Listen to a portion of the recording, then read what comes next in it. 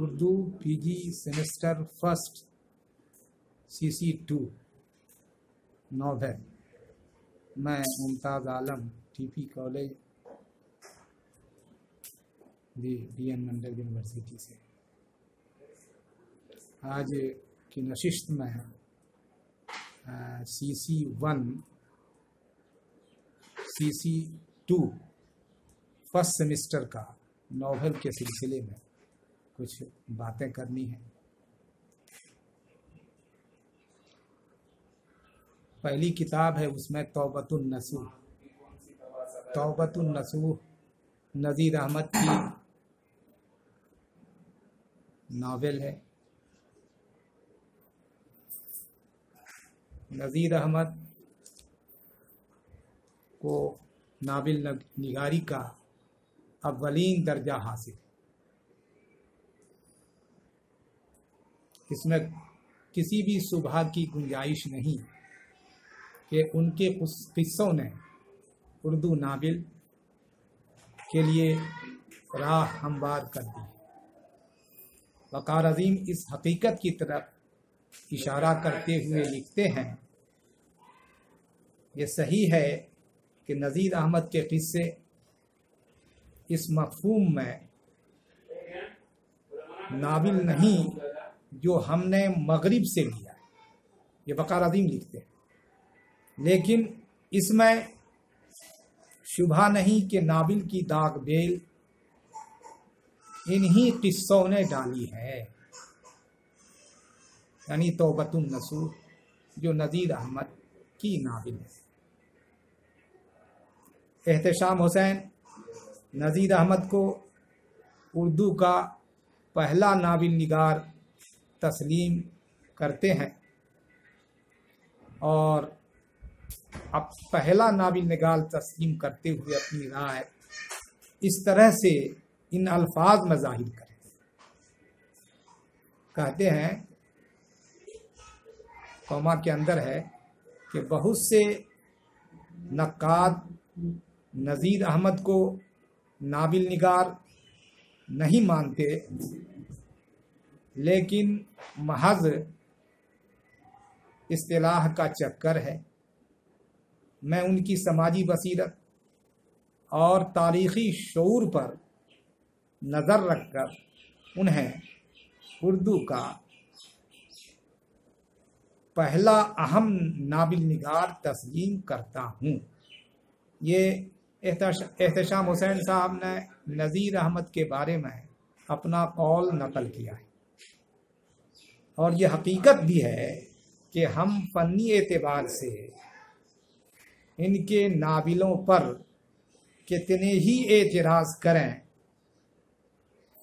वो हमें तस, आखिर में हमें तस्लीम करना ही पड़ता है कि उन्होंने उर्दू अदब को ऐसे फॉर्म से यकीनन रूशनास कराया है, जो नाबिल से करीब से करीब तर है। ये सही है कि उनके इब्तदाई नाबिलों में फ़न की, उनकी गिरफ्त बहुत कमज़ोर नज़र आती है। उनमें रक्त, तसलसल, इरतका का एहसास नहीं मिलता। किस्से में पेश आने वाले वाक़यात का फ़नी जवाब कम और इसलाही जवाब ज़्यादा नज़र आता है। उनके किरदार ज़्यादातर मिसाली है। लेकिन इन फ़नी तौर पर नाकिस नाबिलों से भी ये एहसास उभरता है कि किस्सा फ़र्द और माशरे की ज़िंदगी में इसलाह का एक मुआसिर ज़रिया साबित हो सकता है और तखयल और तखयल व तस्वुर की, रंगीनियों के बगैर भी ज़िंदगी की सीधी, सादी, सच्ची हकीकतें भी कहानी के बुनियाद कहानी की बुनियाद बन सकती नज़ीर अहमद के फ़न में ठहराव के बजाय इरतका का एहसास होता चुनाचे इब्तदाई नाबिलों के बाद वाले नाबिलों में फ़नी वो तकनीकी पुख्तगी का एहसास ज़्यादा वाज तौर पर हमें मिलता है। चुनाचे उनके बाद एक नाविल नाबिल तोबतुलनसू को नक्कादों ने एक नुमाइंदा नाबिल करार दिया है। यानी उर्दू का पहला नाबिल तोबतुलनसूह को करार दिया गया है। हो सकता है कि टेक्निक के एतबार से इसमें कुछ खामियाँ राह पा गई हों, लेकिन ऐसी खामियों से शायद ही कोई नाबिल पाक हो। मजमू एतबार से ये नाबिल आने वाले नाबिल निगारों के लिए एक रोशन शमा साबित हुआ। तब तोबतुलनसूह भी उनके दूसरे नाबिलों की तरह, एक घरेलू नाबिल उसका मकसद माशरे की असलाह है। माशरे की बुनियाद इकाई ख़ानदान है। नज़ीर अहमद का ख्याल है कि अगर ख़ानदानों की असलाह बेहतर तौर पर हो जाए तो हमारा मुआशरा एक मिसाली मुआशरा बन सकता है। चुनानचे नज़ीर अहमद ने औलद की, औलाद की तरबियत के लिए इस नावल में काफ़ी ज़ोर दिया है। और इनका ख्याल है कि बच्चों की तरबियत इब्तदाई उम्र ही में मुमकिन है। अगर इब्तदाई उम्र में उसकी ठीक से तरबियत नहीं हुई, उसे ठीक से उसकी देख रेख नहीं हुई तो फिर आगे चल के उसका संभालना मुश्किल हो जाता। पुख्ता उम्र को पहुँच जाने के बाद बच्चों की इसलाह की उम्मीद कम होती। है नजीर अहमद नाबिल के दिबाचे में इसी चीज़ को लिखते हैं, कहते हैं, कौमा के अंदर है, तरबियत औलाद सिर्फ़ इसी का नाम नहीं है कि पाल पोस कर औलाद को बड़ा कर दिया जाए। रोटी कमाने, खाने का हुनर उसको सिखा दिया जाए। उनका ब्याह बरात करा दिया जाए। बल्कि उनके अखलाक की तहजीब, उनके मिजाज की असलाह उनके आदाब की दुरुस्तगी और उनके ख्यालात, वो एतकादात की तस्हीबी माँ बाप पर फ़र्ज़ है। जी, जैसी तरबियत होगी बच्चों की, कहने का माहजल ये ये तो उनका अपना कौल है, नज़ीर अहमद का। जैसी, कहने का माहजल ये कि जैसी तरबियत होगी, बच्चा का मुस्तकबिल उसी तरह से बनेगा। और अगर तरबियत ठीक ढंग से नहीं हुई तो बच्चे का फ्यूचर बिगड़ भी सकता है, ख़राब भी हो सकता है। ये इसी को नज़ीर अहमद ने अपनी, अपने उस दिबाचे में पेश किया बच्चों की असलाह कम सिनी ही में मुमकिन है, यानी कम उम्र में। जब वो तरबियत पजीर होते हैं और बड़े होने पर इसलाह उसकी मुमकिन हो जाती, नाम मतलब नामुमकिन हो जाती। बड़े होने पर उसकी इसलाह नामुमकिन नामुमकिन सी हो जाती है। नजीर अहमद ने तरबियत औलाद से मुतलक अपने ख्यालात का इजहार एक ऐसे जोड़े के हालात ज़िंदगी पर के पस मंज़र में किया है जो एक तवील उम्र गुजर जाने के बाद अपने औलाद की मजहबी, व अखलाकी असलाह की तरफ़ तवज्जो देते हैं, लेकिन वो अपने मकसद में कामयाब नहीं होते हैं। उनकी औलाद उस वक्त तक मगरबी तहजीब में रंग रंग चुकी थी, रंग चुकी होती। लड़की तो किसी तरह राह रास्त पर आ जाती है, लेकिन लड़का ठोकरें खाकर मर जाता। इस नावल में, इस नॉवेल में कई किरदार हमारे सामने आते हैं। अंग्रेज़ी में नॉवेल कहिए और उर्दू में नॉवेल कहिए, नाविल कहिए। जी, नाविल। इस नावल में कई किरदार हमारे सामने आते हैं, लेकिन पूरी कहानी नसूह, कलीम और नईमा के गिर्द घूमती रहती है। नसूह, कलीम और नईमा का बाप। नसूह नसूह, कलीम और नईमा का बाप। नसूह जब अपनी पुख्ता उम्र के के कलीम और नईमा की इसलाह की कोशिश करता है तो वो दोनों डटकर इसका मुकाबला करता है, बेखौफी के साथ। वालदेन और इन दोनों बच्चों की कशमकश में इस नाविल का मौजू है, जिसे नजीर अहमद ने बड़ी फनी चाबुक दस्ती के साथ पेश, बड़े दिलचस्प अंदाज में पेश करने की कोशिश की है। नजीर अहमद ने नसूह को, इस नावल का नसूह को मरकजी किरदार के तौर पर पेश किया उसकी कोशिशों के बावजूद लड़के राह रास्त पर आते हैं।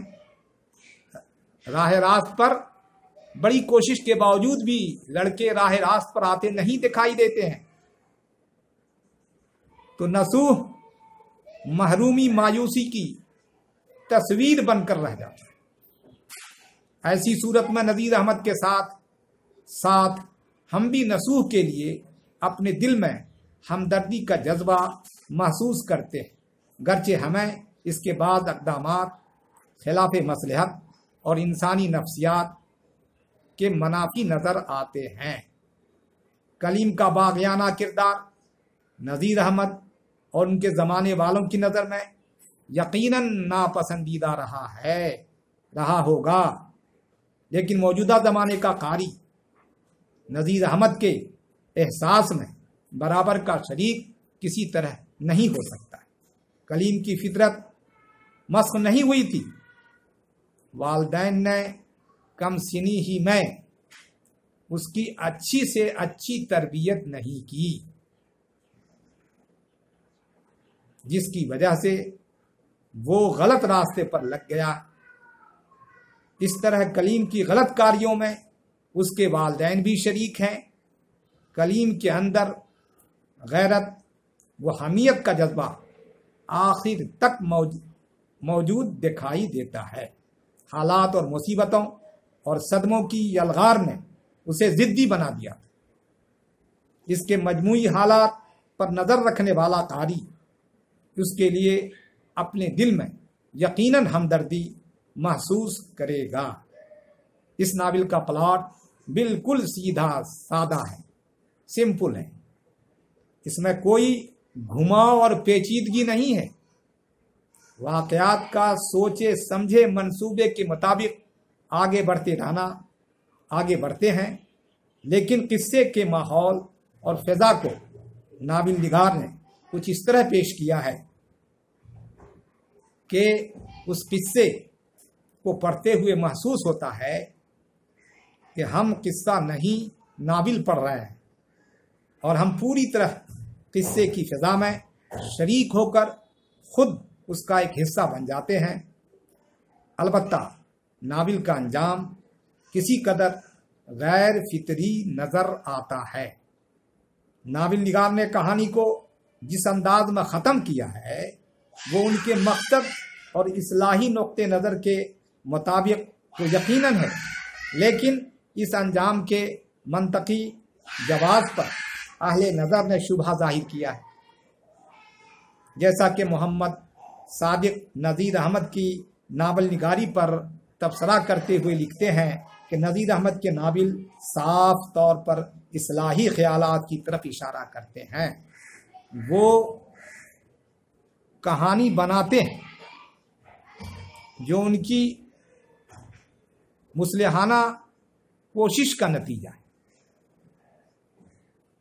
फिर उसमें बने हुए किरदार रख दिए जाते।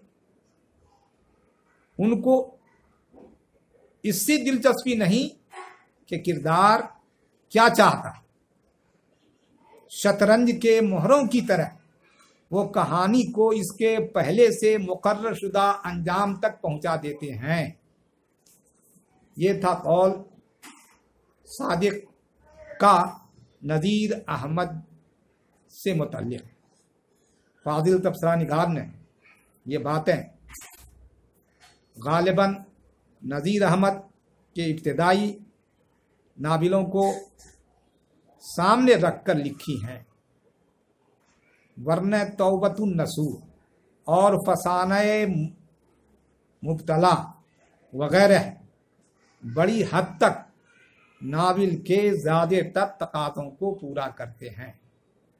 अलबत्ता ये बात अपनी जगह इसी कदर सही है कि मकसदियत पर ज़्यादा तवज्जह देते हैं और इसकी खातिर हकीकत का खून करने से दरेग नहीं करते। नाबिल के मौजूदा मैारों पर तोबतुलनसूह को परखने पर इसमें यकीनन कुछ कमी नज़र आएगी।